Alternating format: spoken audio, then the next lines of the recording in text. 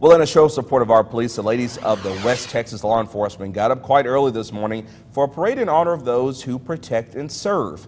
Organizers called it Ride for the Blue, telling us today's event allowed citizens to show gratitude for the selfless men and women who put on the uniform every day. Parade goers were asked to wear blue, of course, to make posters and decorate their cars. The route taking off from South Plains Mall, then heading downtown to Lubbock Police Headquarters then to the Lubbock County Sheriff's Office, and finally ending at the Lubbock Regional Law Enforcement Memorial.